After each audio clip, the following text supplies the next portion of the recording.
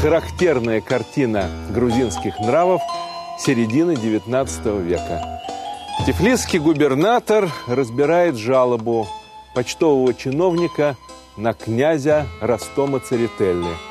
Старый князь искренне не понимает, что от него хотят и в чем он провинился.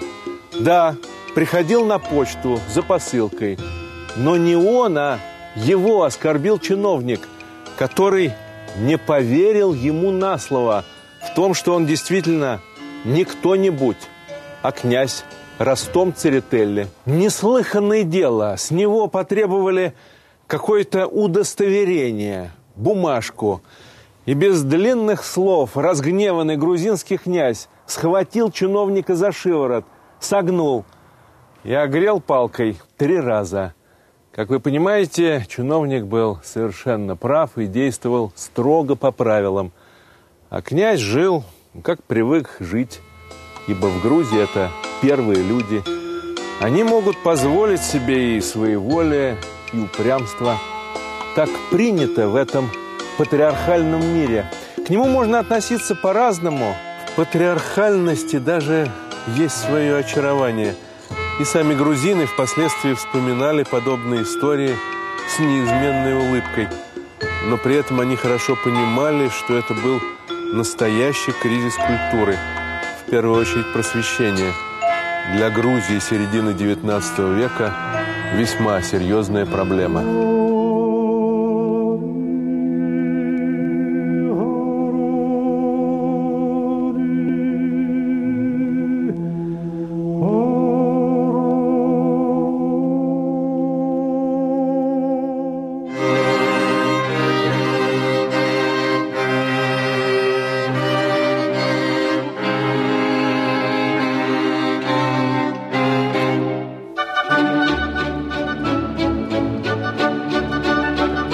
24 мая 1848 года в Тифлис прибыл новый наместник Кавказа и командующий отдельным Кавказским корпусом граф Воронцов. Следуя своему правилу, он приехал в город поздно ночью, и все равно его встречали. Жители Тифлиса приветствовали Воронцова на всем пути по городу – вплоть до самого дворца наместника. Здесь, в этом дворце, Михаил Семенович Воронцов будет трудиться почти 10 лет, работать над устроением огромного края. Я напомню, наместник Кавказа командовал не только Грузией, но и всем Северным Кавказом, где все еще шла война с горцами – а еще Азербайджаном и Арменией. Нужно сказать прямо, Воронцову досталось очень тяжелое наследство. Это справедливо, даже если мы будем говорить только о Грузии. Воронцов это хорошо понимал. Ему было 63 года. Он был человеком опытным. Долгие годы управлял Новороссийским и Бессарабским краем. Привел его в цветущее состояние, а потому о новом назначении думал без восторга. «Почитаю поручение это превышающим мои силы», повторял он в те дни своим самым близким людям. И от Николая Первого не скрывал своих сомнений. Но государь настоял, у него просто не было второго Воронцова – Настоящее имперское строительство в лучшем смысле этого слова, я повторяю, в лучшем, требует особых дарований, как, впрочем, любое дело, но это особенно.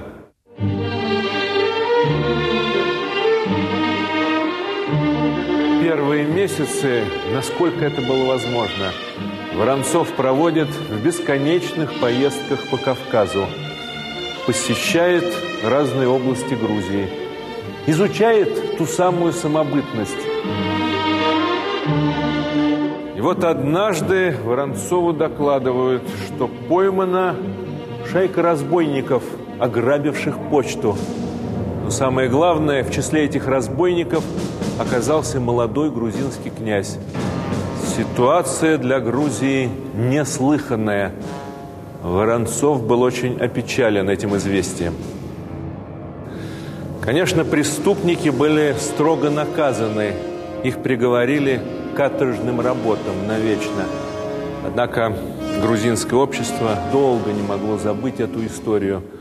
Об этом говорили везде и всюду. И тогда граф Воронцов на одном из приемов спросил у грузинских дам о причине этого волнения. «Неужели вам так жалко несколько человек, сосланных в Сибирь?» Княгиня Манана Арбелиани ответила так. «Мы горюем от того, что эти проклятые опозорили грузинское имя. Они сошли с того пути, по которому вели их родные обычаи и вера». Воронцов улыбнулся, поцеловал руку княгини, утешил ее как мог, а потом стал говорить, ну как бы отвечая самому себе, что Грузия – это сад, но сад совсем не похожий на другие сады. И садовник тут нужен особый для цветов, произрастающих в этом саду. Если продолжать это сравнение, нужно сказать вот о чем. Российская империя, включив в свои пределы Грузию, поставила ее перед лицом европейской цивилизации. Тем самым к древу традиционной грузинской культуры была сделана очень болезненная прививка. Цивилизация разрушала традиционное общество. В этой ситуации особенно нужна деятельность таких людей, как Воронцов. Он всеми силами старался поддержать грузинскую традицию. Ради этого стал привлекать грузинскую аристократию к управлению Грузией.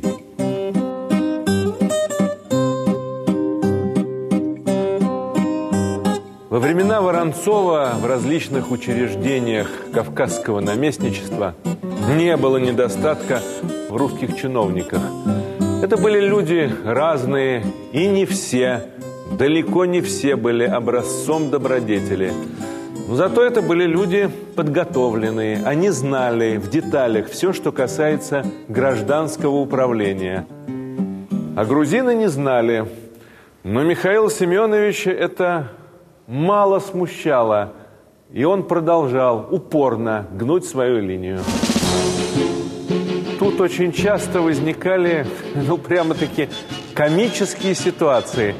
Взять хотя бы историю генерала Ивана Малхазовича Андронникова.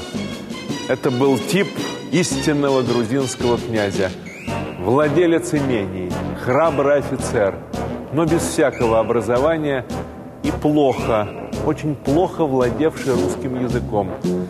Граф Воронцов назначил его тифлисским губернатором. И вот его первый рабочий день.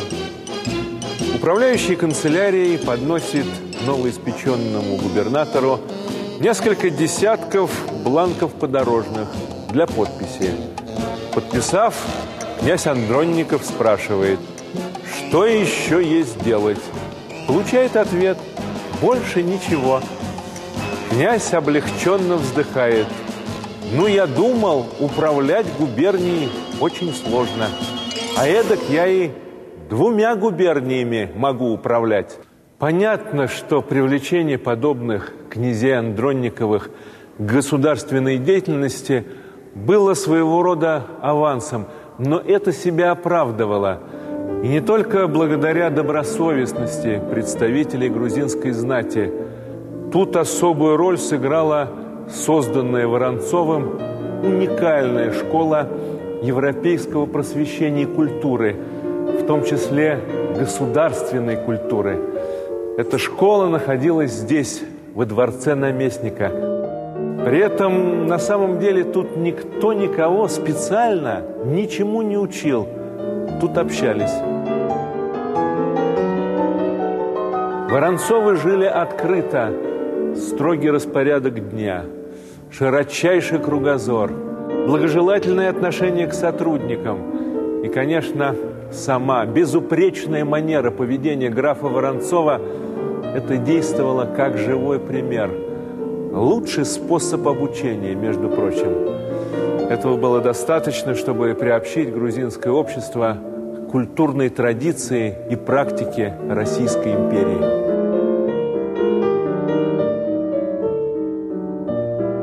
Что-то очень важное изменилось в грузинской жизни к концу правления Воронцова. В обществе пробуждается тяга к просвещению, жажда знаний. Грузинская молодежь отправляется в Петербург, в столицу империи, учиться в университете. В апреле 1859 года собирается в дальний путь 18-летний Акаки Церетели – Будущий прославленный грузинский поэт, один из столпов грузинской интеллигенции. Он был сыном того самого простодушного князя Ростома Церетелли, который, помните, учил почтового чиновника правильной жизни. А теперь князь отправляет своего младшего сына в Петербург, в Россию, и при этом обязывает его сначала побывать в Одессе и посетить вдову Воронцова, княгиню Елизавету Ксаверьевну. В качестве подарка старый князь посылает ей резное распятие. Княгиня Воронцова, вспоминал впоследствии Акаки Церетели, приняла меня, точно сына, с истинной материнскую ласкою. Значит, грузины еще помнят нас, с радостью говорила княгиня – Надеюсь, они не скоро забудут моего мужа. Пока не исчезнет память о Грузии, будет жить имя Воронцова, отвечал молодой князь. По собственному признанию он всего лишь повторил все то, что с детства слышал в каждом грузинском доме. Однако пройдет всего несколько лет, и Акаки Церетели будет вспоминать эту историю с иронией. У него изменится мировоззрение, взгляды, появятся передовые идеи. Я сейчас не говорю о знаниях, об университете, только об идеях, усвоенных в школе русской революционной демократии.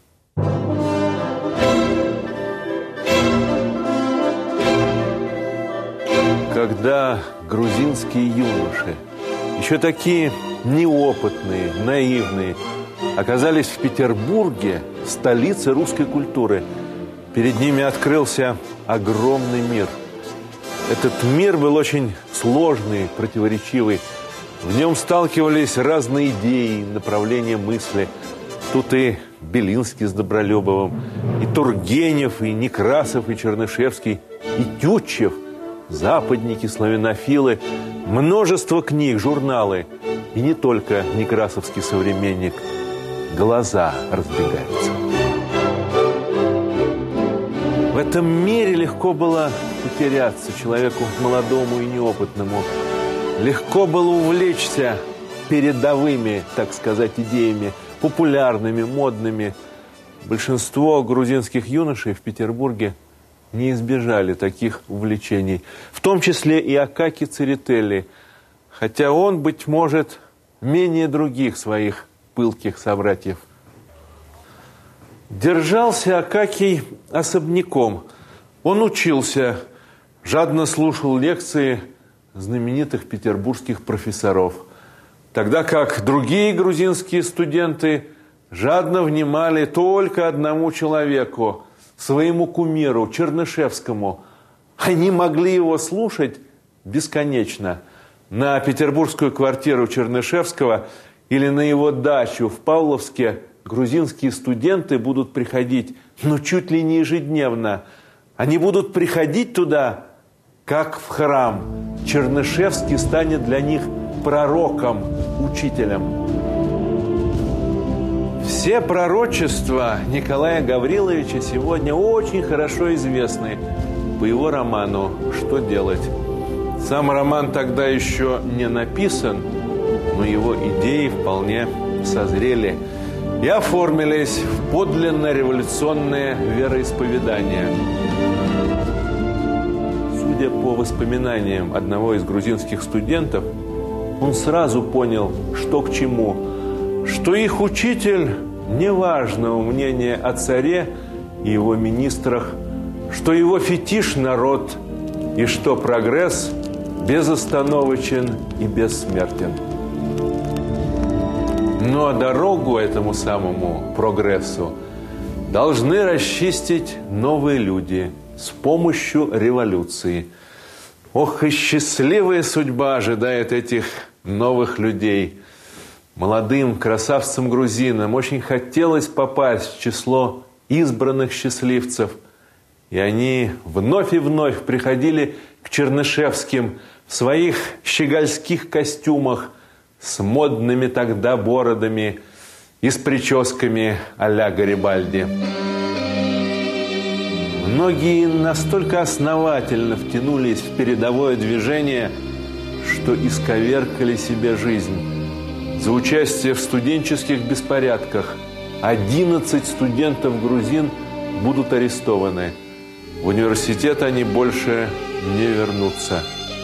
Илья Чевчевадзе – в будущем знаменитый писатель и общественный деятель Грузии чудом избежит ареста, но и ему придется покинуть Петербургский университет и вернуться на родину.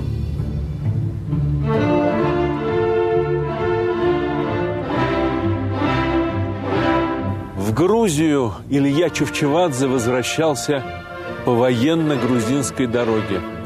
За Владикавказом дорога идет вдоль Терека – потом поднимается на крестовый перевал. И здесь, как напишет Илья, когда на меня подул ветерок моей страны, я испытал сильное волнение. Множество самых разных мыслей пронеслось в его голове. Как встречусь я со своей страной, думает он, и как она встретит меня. Что я скажу своей стране, и что она скажет мне. Четыре года в Петербурге не прошли для него бесследно. Теперь он знает, что делать. Прежде всего облегчать народные страдания, утешить скорбящего, осушить слезы плачущего. И снова сомнение, смогу ли я, смогу ли я сказать громкое слово. Илья Чевчевадзе проживет необыкновенную жизнь, очень плодотворную и деятельную. Грузия услышит его громкое слово. И не только грузинская интеллигенция, но и самые простые люди, грузинские пастухи, будут говорить о том, что наш народ под его защитой. Это дом Ильи Чевчевадзе – в селении Сагурамо, близ Мцхета. Дом сохраняется как национальная святыня. Теперь здесь музей писателя. Он построил этот дом в 1895 году в имении жены.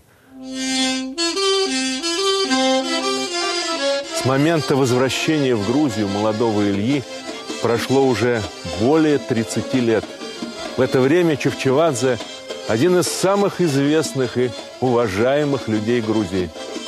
В своем доме он принимал множество самых разных грузинских деятелей. И не только грузинских, прежде всего писателей, журналистов. Но один раз в году, 20 июля, здесь, в Сагурама, как говорят, собиралась вся Грузия. Столь многолюдно праздновались именины писателя. Одно из самых известных произведений Чевчевадзе называется так «Человек ли он?»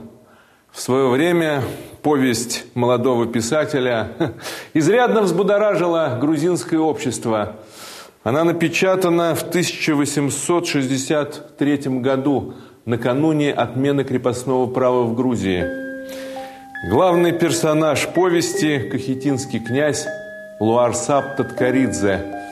Это хорошо узнаваемый человеческий тип, он взят из жизни.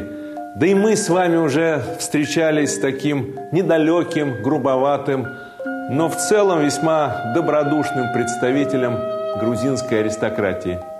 Но писатель как будто вовсе отказывает этим людям в звании человека. Ну какой же это человек, если он только ест, пьет, вспоминает старые добрые времена и не знает даже грамоты? Надо сказать, что не только в литературе, но и в самой жизни Чевчевадзе выражался резко и прямо. Ну вот типичный случай – на дворянском собрании обсуждается предстоящая отмена крепостного права.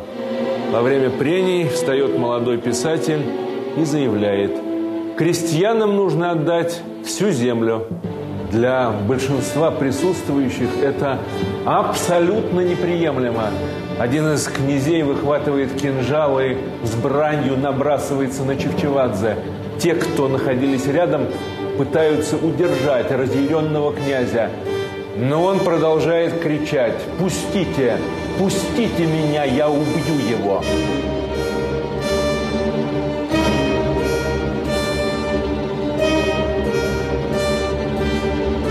Как мы помним, наместник Кавказа Воронцов в свое время проводил по отношению к грузинской аристократии совершенно иную политику. Разумеется, он тоже желал Грузии благоденствия – но средства для достижения этой цели использовал иные. Гражданский мир был для него важнейшим условием.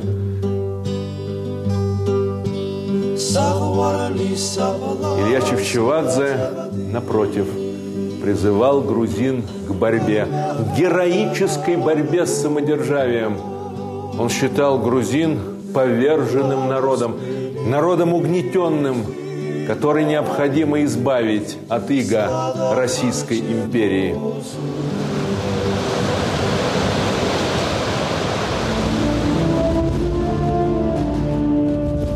Грузинский поэт Григорий Орбелиани попытался защитить Воронцовскую школу и вообще русское правление, которое с его точки зрения не противоречило грузинским традициям он написал стихотворный «Ответ сыновьям». В нем есть горькие строчки о том, что его родина измельчала. Судьбой и надеждами Грузии лжепоэтов овладела рать. Илья Чевчевадзе не мог промолчать. Он оспорил позицию Арбеляне в стихотворении «Ответ на ответ» молодые годы Илья восхищался поэзией Арбеляни. Теперь, теперь он обвинил его и всех так называемых отцов в предательстве Родины. Вот как это звучит по-русски в переводе Барика. Хоть в годы молодые бывали мы в России. Грузинской мы не предали страны. И вам, не подражая, сынов родного края не продали за звезды и чины. Наверное, Белинский и Чернышевский в свое время одобрили бы такую поэзию. Они бы могли гордиться своими грузинскими учениками и грузинской интеллигенцией. Она была плоть от плоти русской интеллигенции. Тут практически всеобщее и устремления, и надежды, и главный враг – российское государство и его самодержавная власть. Обычно в таких ситуациях спорить бессмысленно. Тут не действует ни логика, ни аргументы. К тому же можно всегда указать на реальные недостатки, ошибки российских деятелей, чиновников, политиков. Все это было, есть и будет. И все-таки один факт мне бы хотелось здесь отметить. Через несколько лет после спора Чевчевадзе и Арбеляне в результате очередной русско-турецкой войны Батумская область была воссоединена с территорией Грузии. Прежде эта область несколько столетий принадлежала туркам. Проклятое российское самодержавие продолжало собирать грузинские земли – в 1918 году, после распада империи, эти земли составят независимую Грузинскую республику. Но об этом в следующем выпуске исторической программы «Кто мы?» в цикле грузинская песнь России.